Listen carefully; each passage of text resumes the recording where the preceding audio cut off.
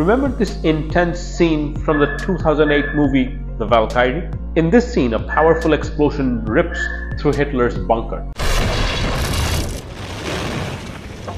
But why place a bomb inside a bunker? Simple answer maximum destruction.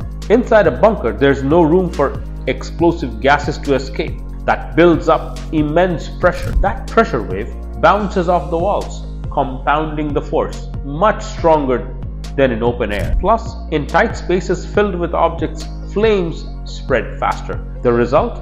A faster, hotter, more intense blast. And don't forget the fragments. In a bunker, debris has nowhere to go, so it ricochets and shreds everything in its path. This multiplier effect of confined explosion is exactly why bunkers, though built for protection, can become deadly traps in the face of a bomb. And that's why inside the bunker was the deadliest place to be.